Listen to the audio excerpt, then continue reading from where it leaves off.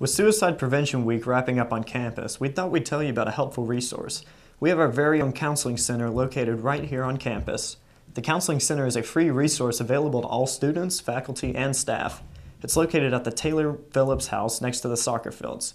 We met with one of the staff on hand to find out just how important the Counseling Center is. According to the director, nearly 25% of our student body use this resource each year.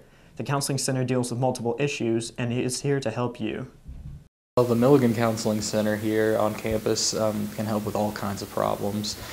Uh, problems of life, you know, you're having trouble talking with your boyfriend, your girlfriend, things like that, all the way up to losing a parent or um, experiencing sexual assault on campus. The center is open Monday through Friday by appointment only.